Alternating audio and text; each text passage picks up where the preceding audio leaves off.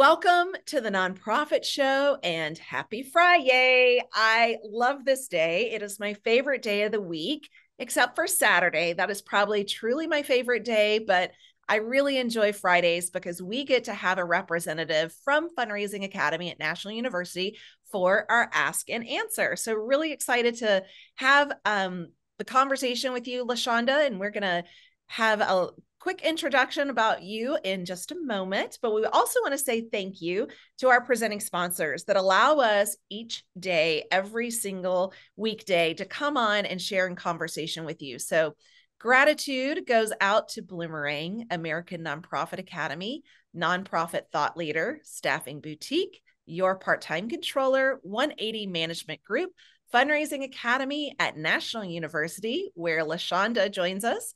Also, thank you to JMT Consulting, Nonprofit Nerd, and Nonprofit Tech Talk. We are so grateful to have the amazing support from these companies uh, every single day to, to provide these conversations. If you missed any of our previous conversations, LaShonda, I think you know this, but we are well past 950 and moving towards our 1000th episode. You can find all of them. Actually, um, here's my phone. If you scan that QR code, right? I think we're all used to QRs by now. Download the app. You can also still find us on streaming broadcast and plot podcast. So all the fun places. And I want to give you a little bit of respect and due diligence because LaShonda, you are joining us today as a trainer from Fundraising Academy at National University. And I want to welcome you back. You join us often, and it's always fun to have you. Thank you for having me back today. I'm excited. This is a Friday. What a great way to end the week. And that is with some great insight on the cause selling cycle and learning more about the Fundraising Academy. Thank you. It's going to be a lot of fun. And for those of you that we haven't met, I'm Jarrett Ransom, nonprofit nerd and CEO of the Raven Group. So if you're ready, we're going to dive right in. I'm ready when you are. Okay. So this is from Name Withheld, and we get them quite a bit. In fact, if any of you have questions or you know seeking suggestions, advice, send us an email. Um, send us on our social channels, all those places. This is where these uh, questions come in from. So, name withheld in Boston. In a recent development staff meeting, another team member suggested that they could have achieved a higher donation from a specific donor than what I did. Honestly, this hurt my feelings and has created some self doubt. What should be my next steps? That is a great question. And I appreciate the anonymity because there are many of us that may have experienced this at some point during our career um, in the philanthropic space. Let's start with the fundamentals. And the fundamentals, when you're thinking about development and philanthropy, the heart of philanthropy is relationships. Mm-hmm. And so, best practices tell us that it's very important to make sure that we understand the relationships. And in these in, in instances in which you have someone that has a stronger relationship with the donor, as you're working towards to, to achieve your organization's goal, and you want to make sure that the donor or prospective donor is best served. So, you may want to work in collaboration with your colleague who has that great relationship and don't take it personal consider it as an opportunity to learn more. And during the the pre-discovery and discovery phase in the cause selling cycle we provide some examples of some questions and things that you may want to ask to dive a little bit deeper to strengthen your relationship with the donor and incorporating your colleague can help facilitate and navigate the strength of the relationship. So don't take it personal. Take it as an opportunity to grow as a professional and also to maximize the opportunity on behalf of your organization to further increase the impact to its optimal potential. Optimal. Great reply, LaShonda. I, I mean, love it. I would also add for me, my style is I would share that my feelings were hurt with this colleague, with the coworker. Um, Definitely. Um, it might depend, right? Whether it's male or female. Um, I don't know. There's a lot of dynamics that go into the workspace, but I always find anytime there's a hairy situation that doesn't settle, I like to talk about it. I like to talk through it, but I love like it probably isn't personal. And I know, and I'm witnessing, you know, for the whole nation, I tend to take things personally. So when I address them, I find that, you know, the resolution is, is much greater. I love the collaboration, right? Like that is a big one. We should absolutely be working in a team, especially if we have the the privilege of having a team, you know, and we're not a solo person doing that. And then also before we, you know, we're really gathering before the presentation, we are consulting with our team to say, this is what I was thinking, right? Like, where do we feel exactly donor might be? So we're going into it with an educated decision already. So great insights. All right. So name withheld. We wish you the luck, all the luck. and uh, yeah, I hope it works out well for you. Okay, Ben from New York, New York. That's really hard to say and not sing. So right. While I know that commissions are a big no no, yes, they are. Thank you, Ben. In the nonprofit sector, how can we reward our development team with bonuses? I think we should lay this out so that everyone who is doing cause selling understands upfront that when they hit their goals, they will be rewarded. What do you see in this space, LaShonda? That is a very great question, Ben. And I too love New York and I want to start singing. Um, and I want to sing praises because you want to reward your team. And obviously, you know, according to AFP standards, as professionals, we're not to receive bonuses or commissions based on revenue that we've been able to secure on behalf of our organizations. So, one of the things that we've seen with some consistency, you know, post COVID, we've gone to this hybrid uh, world we're now living in. So, thinking about opportunities to reward or create a structure where the team holistically meets a said goal, that perhaps there's some opportunity for a subsequent remote day or preference in um, priority in selecting vacation days off. You know, as you begin the new year, you know, everyone wants to take every single holiday. However, you know, tiering a system in place where if, you know, you fall in this particular RAM, perhaps you may have first pick on vacation days.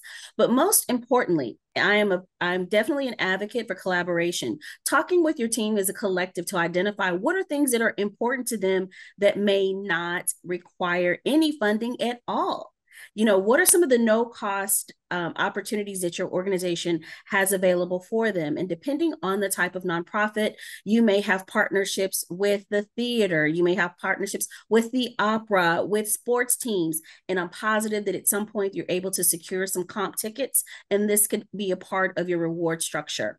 And the final recommendation that i would have and just as general as a supervisor or manager Depending on your organizational structure, there are times within the year where you may receive subsequent funding, like in higher ed, to be able to provide merit pay.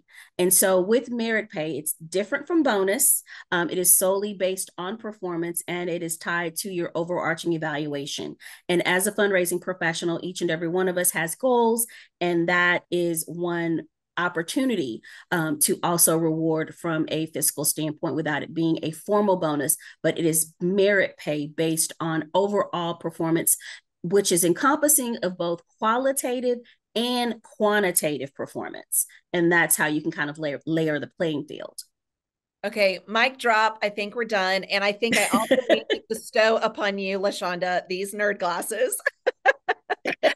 because that was fantastic. I love the merit increase. My brain, as you were talking about this and providing such great responses, what about? I always like to say, well, okay i love the book and this is personal but the the five love languages right and that yes did one for management and so i really like to find what is the thing that motivates the team and you had said like really inquire with the team. And I like to inquire within the person themselves. But my brain was going to maybe these individuals are seeking additional professional development opportunities. Definitely. Conferences they want to attend, perhaps they want to seek um, you know, their CFRE, and that's a designation that they're working towards.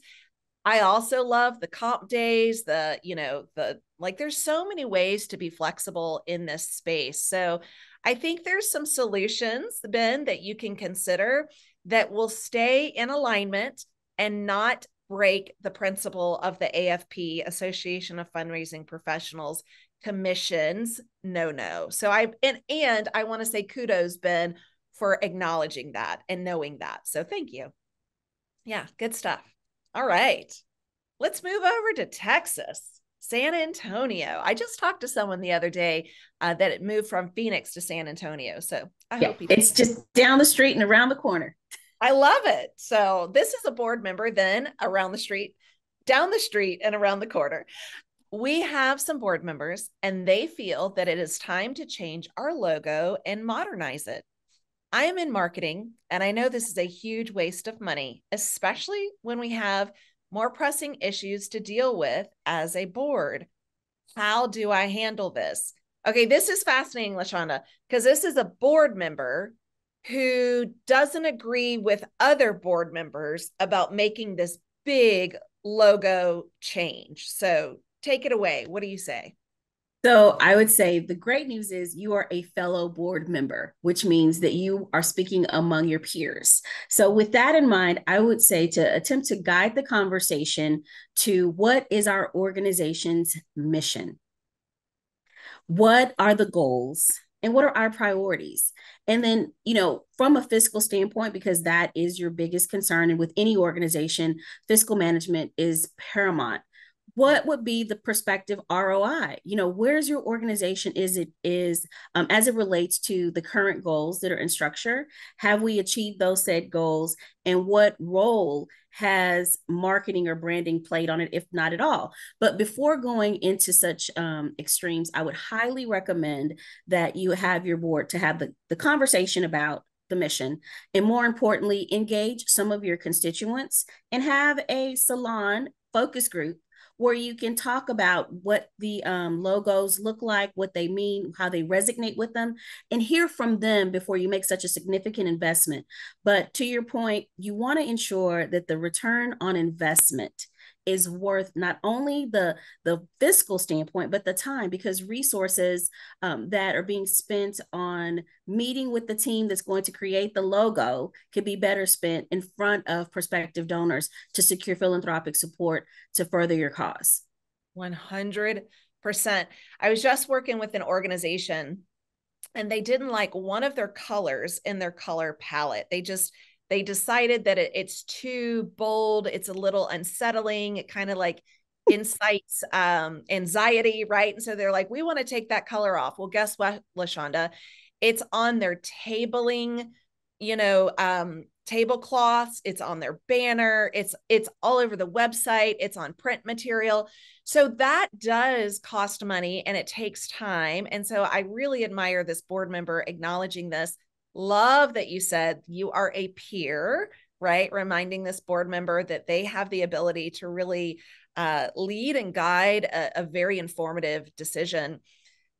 If the board wants to go forward, I would highly recommend perhaps a task force that starts to identify what you just said, Lashonda, in this ROI. Like, okay, let's get some quotes. What would this cost?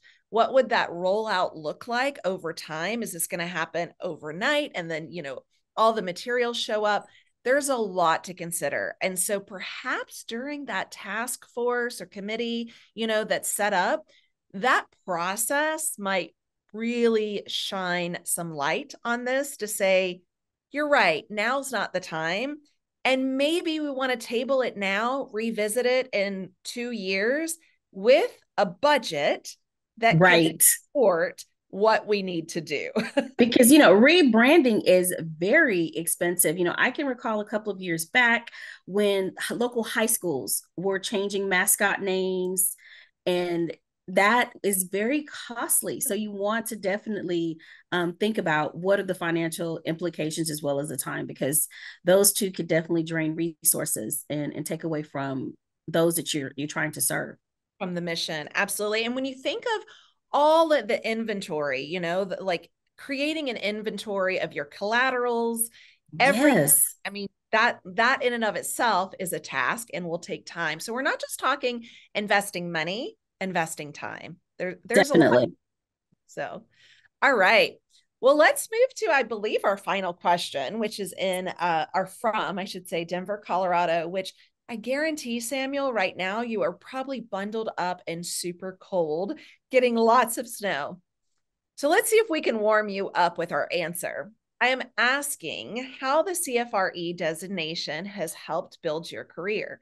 I would also like to know if the process improved your performance and perhaps resulted in an increase in salary. My nonprofit will not cover the cost of this investment, so I really need to know if this is a wise move on my part. Okay, LaShonda Williams, MPA CFRE, take it away. So, um, Samuel, this is a really great question that I get asked pretty often. So, I'm not new to this. I am true to CFRE. So, I will say that definitely um, CFRE is worth the investment. Um, at the time when I prepared for the exam, I was working in the role of an annual um, giving director. An annual giving, an annual fund, you know, it limits what your exposure is, but I was in a shop, small shop. So, I had an opportunity to really dive into all aspects of the donor cycle, including some major gift donors. The investment, I will say to you to ask yourself, am I worth it? I took the initiative and started my application and I paid for my exam myself because I wanted to invest in myself. Um, specifically, when you think about the prestige associated with the CFRE, uh, the limited number of professionals granted there are over 100,000 individuals that are in the fundraising industry as um, advancement professionals in some form and in some role. However, when you're talking about the CFRE specifically, um, and they just posted something on LinkedIn like last week, the first week of the year, the top 10 reasons to secure your CFRE, and there's more details on their site. And among that is one, first and foremost, important thing is the knowledge base, which is really important. You want to make sure that you are doing true justice to your organization by being very knowledgeable and maintaining your commitment to professional development, current trends, and best practices. Um, specifically, there are currently 7,700 of us that are global. And to be among that small group in itself to me um, it creates an opportunity for me to feel a little more confident about what it is I'm doing. As a person of color, specifically a woman of color, um, there are roughly like 200.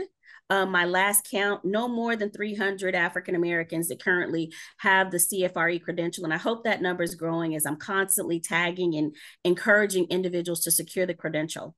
Um, it has provided me with a heightened sense of confidence because now through the studying process, and Jack Alotto, who's on the show all the time, was my tutor during that process. I attended his session, and it was absolutely phenomenal because as professionals, we work in our specific roles, but the CFRE is based on all roles within the advancement infrastructure so that you are very cognitive of everything. It's a comprehensive exam of all things associated with fundraising. Um, have I felt the um, financial implications of that? Absolutely. Um, I'm very excited to share that, you know, since securing the CFRE, I've had a couple of opportunities and speaking engagements. Um, there are individuals that often off ask for training opportunities, but more importantly, the intrinsic value and reward of knowing that you have this higher level of expertise and the resources. You have 7,700 peers that you can call upon. And I created a community of practice during my study process. And they consist of women who um, have various positions. You know, some are in small nonprofits, some are, are in the medical industry as chief of staffs.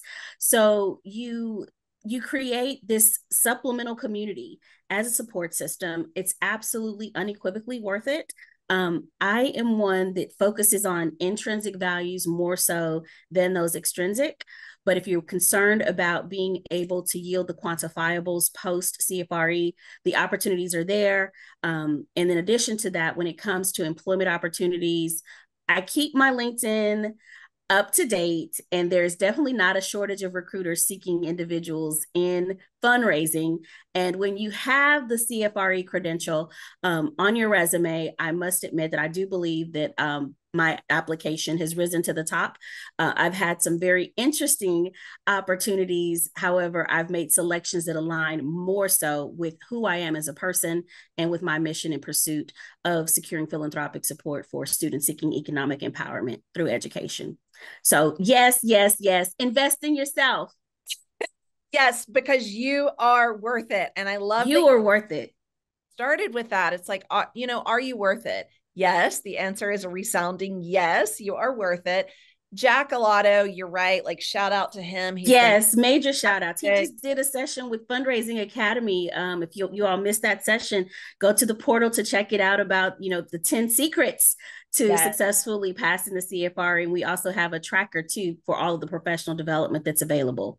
I love it. And then I've heard too that there are some scholarships perhaps being built and i believe in particular for people of color to really yes you know raise yeah. the of professionals in that sector there is so much out there so much opportunity so many i should say opportunities available i mean it's just wonderful so yes you're worth it and that that's what i love lashonda like you're worth it. So if this is you're definitely worth it. And I tell everyone all the time, you know, that's my thing. I, I believe in paying it forward and pulling someone else up to the next level.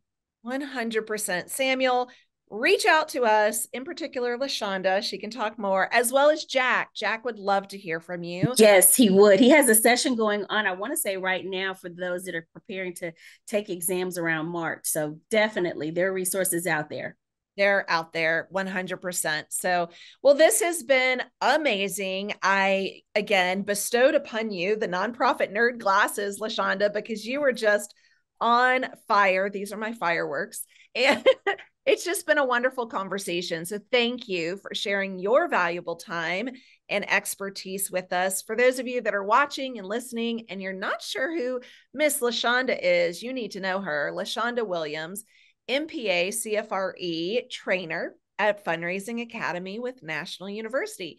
Now, you mentioned the portal. Tell us a little bit more about the portal, LaShonda. Yes. So the Fundraising Academy offers a variety of trainings that is free because we know in the fundraising space it become can become quite costly to attend a variety of conferences.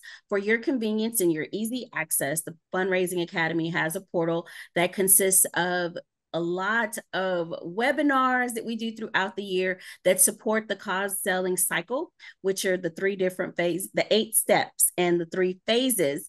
And you can learn more on a variety of different topics, ranging from prospecting and pre discovery through preparation for cultivation and engagement. And then the ask, which is very important, tips on how to overcome objections, but most importantly, how to secure that gift and to maintain that relationship through stewardship. So, a variety of trainings made available. And we're also preparing for our Cultivate Conference 2024. So, yes. very excited. That's in May. Can't wait That's for that. That's in May. Go, yeah. Go to the website fundraising-academy.org. You can you can find from there the link to the portal, the link to cultivate, all kinds of good stuff. So LaShonda, you're a rock star. I'm so appreciative. So thanks for joining me as a representative with Fundraising Academy at National University. Again, more gratitude to our amazing presenting sponsors that allow us day in and day out to have these high level conversations for you, the other nonprofit nerds. So thank you to Bloomerang, American Nonprofit Academy, Nonprofit Thought Leader, Fundraising Academy at National University. Shout out to LaShonda today. Also, 180 Management Group, your part time controller, staffing boutique, JMT Consulting, Nonprofit Nerd, and Nonprofit Tech Talk. We are so grateful to have their ongoing support. LaShonda, this is year four as we move into the conversation. So, we are, as Julia has said before, a going Jesse. And I am thrilled because We've got a lot of our same sponsors. We've added some sponsors. We're getting some new guests and voices and perspectives in. And then I have asked you to please, if you know anyone, contact us because we want to elevate different voices and spaces in this conversation. So, LaShonda, homework, my friend, send all the amazing people I, you know and all the network that I shared with uh, with Samuel earlier about the importance and the value of CFRE, I have definitely passed it on, and I'm happy to say that a couple of my dearest distinguished colleagues not only have been on the show but have subsequently secured their CFRE. Shout out to Jeff Shaw. Love it! Congrats, Jeff. That's fantastic. Well, hey, we've got a big weekend ahead. Monday is a holiday for many of us. So we hope that you have a restful and recharging weekend. If you are um, honoring Monday as a holiday, thank you for doing so. And LaShonda, share, we have a little bit of time, but tell us, if you would, what you're doing on Monday. So Monday, I'll be working with my sorority. We'll be completing some service for women of color. I'm very excited. Uh, the Martin Luther King holiday is really special to our organization specifically because of the advocacy for women of color. Um, for those of you who may not know, Reverend Dr. Martin Luther King Jr. was a member of Alpha Phi Alpha fraternity, which is the brother fraternity to Alpha Kappa Alpha sorority. So we are definitely looking forward to an opportunity to serve mankind as we do throughout the year. And then we're also preparing for our sorority anniversary. So it's a wonderful time. It's a wonderful week, and we're looking forward to all of of the wonderful things. And if you have a little time, don't forget to just kind of jump on the portal, set up your sign in, and you know, give yourself a little moment to do some professional development if you can. Invest in you, Samuel. Invest in you and all of you invest in you because you are worth it. Well, hey, LaShonda, as we wrap up today, we end with this these closing words that we have said from day one. So almost a thousandth times that we've said this, but it always rings a little different. And that mantra is to please stay well so you can do well. Thanks everyone for joining you, us. We'll see you Tuesday.